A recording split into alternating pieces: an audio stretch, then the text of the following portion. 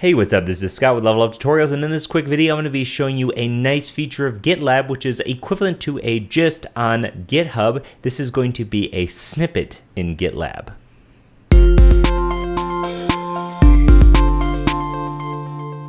So now that we have teams, we have projects, let's take a look at a feature that's really nice. Now in GitHub, this is a gist. However, in GitLab, it's sort of more appropriately named snippets. Now, a snippet is really just a snippet of code that you can create and share. So if we click New Snippet after we select snippets in our toolbar, we'll be able to go ahead and create a new snippet. From here, we can just say a our first first snippet okay now this could be public to the world and let's go ahead and if we were to give this file a name like, let's say we give this a file name like hello.js.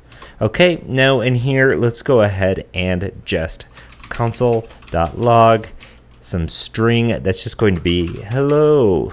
Okay, just like that. This is at least this is the lamest snippet on the planet officially. this is not a snippet you're going to want to post somewhere to show off your JavaScript skills. Okay, now we can go ahead and click create snippet.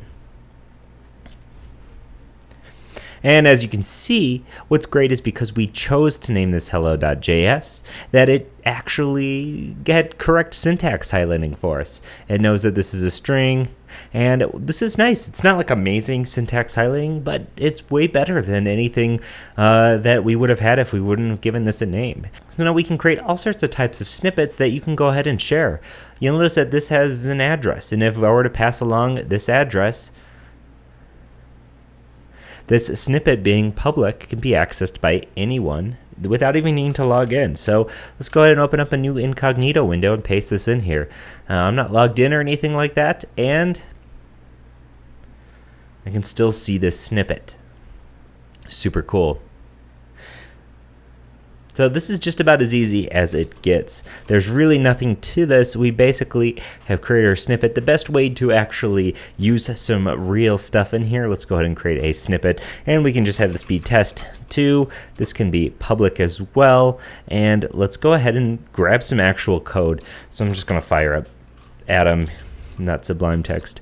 And I'm going to grab the first thing that I see here that's usable. Okay, so this is some, uh, this is an Android manifest file, so maybe not great.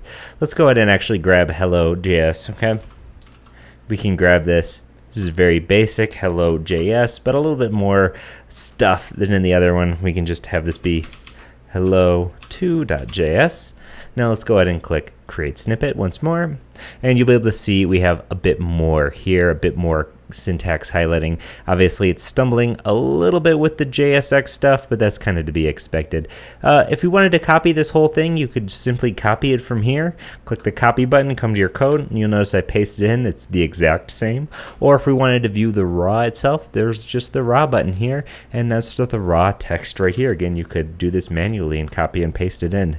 So super cool snippets. They're not crazy. There's nothing amazing about it. You know, notice how we don't have comments or anything like that. But this snippet is something you can share now. Or you can keep this private and just have it in your own public repository of snippets. Stuff that you're going to use over and over again.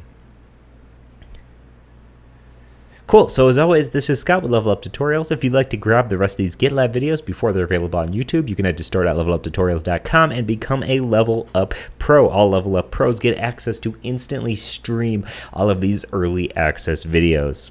Super cool. So as always, thanks for watching and I'll see you in the next one. Bye.